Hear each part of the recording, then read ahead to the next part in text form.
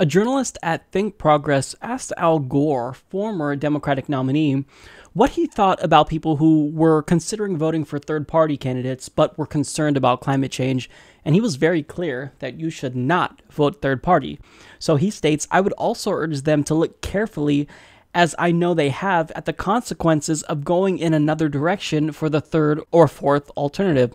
The harsh reality is that we have two principal choices, and I am supporting Hillary Clinton. Again, I respect those who analyze the situation differently, but in my experience, it matters a lot. Well, I'm glad that he respects those who want to analyze the situation differently because that's exactly what I'm going to do. Here's what he's doing he is taking the fact that he ran a shitty campaign and is blaming it entirely on Ralph Nader and people who voted for Ralph Nader in 2000. He's effectively saying, don't blame me for running a terrible presidential campaign and picking Joe Lieberman as my running mate. Blame the few people that were dissatisfied with my shitty campaign and blame Ralph Nader. I'm going to be really nice here. So I'm going to clue Al Gore, Hillary Clinton, Tim Kaine, all these centrist, corporatist Democrats in on a secret here if you actually are not a shitty candidate and can inspire people and be a real progressive, you don't have to worry about a third party threat. Who didn't have to worry about a third party threat? Hmm, let's see, Barack Obama. Even though we know he's a centrist corporatist Democrat, he ran as a progressive. He knew how to inspire people and galvanize the base. It's not just because he's charismatic, it's because of his policy positions. It was because of the ideas he represented. We believed that he would not conduct politics as usual, that he wouldn't allow lobbyists to run his administration, we were wrong, but he at least ran a good campaign in that respect and fooled us that way. He didn't have to worry about a third party threat. Did third party candidates exist? Yes, Jill Stein ran back in 2012. Nobody heard of her because Barack Obama was a very strong candidate. But for some reason, Al Gore and Hillary Clinton, two really uninspiring presidential candidates that are proposing only incremental change, have to worry about third party challengers. Hmm, I wonder why this is. Why is it that only certain types of Democrats, centrist, corporatist ones, have to worry about third party challengers, whereas the other ones who run as left wing candidates, they don't have to worry about third party challengers. Why is that? Hmm, maybe you didn't inspire enough people to vote for you. Is that Ralph Nader's fault? No. Is that the fault of the people that voted for him? No. So here's what Democratic candidates need to do from here on out. If you see that a third party challenger becomes an increasingly bigger threat, you need to reevaluate your policy positions because you're doing something horribly wrong. Turn around, you're moving away from the base, and they're abandoning you because of what you're doing. And let's actually look at the facts here. Most people that voted for Ralph Nader were either independent or registered Green Party members, so one could actually argue that they weren't even part of the Democratic voting base to begin with, so they weren't yours to lose. But here's a less convenient fact that everyone forgets more than 100,000 Democrats across the country actually crossed party lines and voted for George W. Bush. Why aren't you blaming them? The Democratic establishment is actually more outraged when we support independent or Green Party candidates like Jill Stein or Bernie Sanders than when we support Republicans. And here's the most important part the Supreme Court is the one that actually decided this election by denying Florida the ability to do a recount, which it was later determined that you had actually won.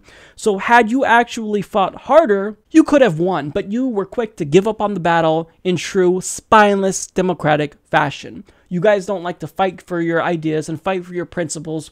And that's why you lost, Al Gore. And I'm going to play devil's advocate here. Let's say hypothetically that it really was the case that it came down to Ralph Nader and he was single handedly responsible for costing you the election.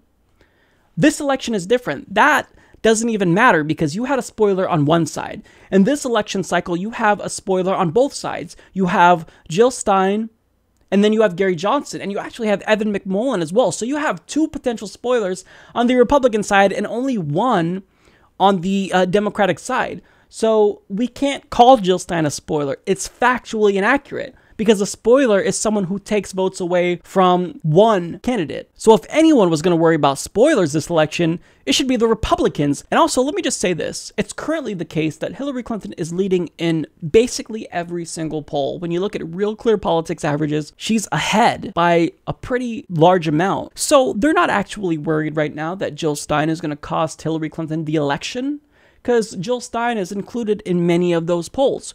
Here's what they want. I'll tell you what they want.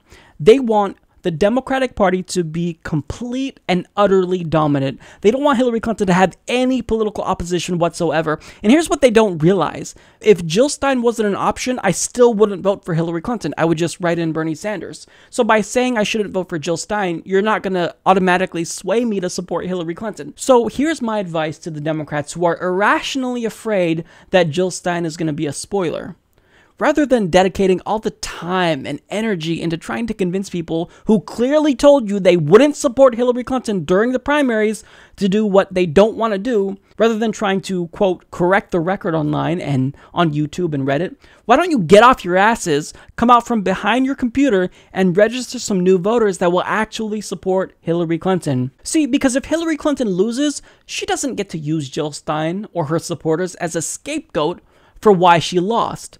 It will be because Hillary Clinton ran a shitty, terrible campaign. It'll be because her supporters were unsuccessful at putting in the time to phone bank and face bank and canvass for her. And she also has the entire corporate media establishment on her side. So if she loses to a gigantic buffoon like Donald Trump, who is someone she should be beating easily with this advantage, she has no one to blame but herself. And that goes for you too, Al Gore. You had no one to blame but yourself. You didn't inspire enough people. If you had enough people voting for you, if you had enough supporters that were inspired and wanted to fight for you like they did for Bernie, you wouldn't have had to worry about Ralph Nader in the first place. But he didn't cost you the, the election.